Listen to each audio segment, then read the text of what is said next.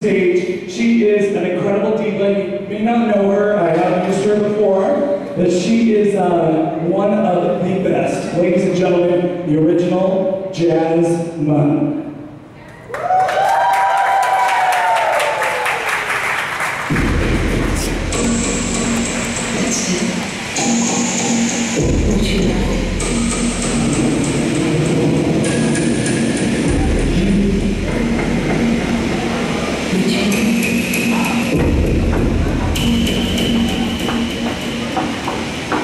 Amen.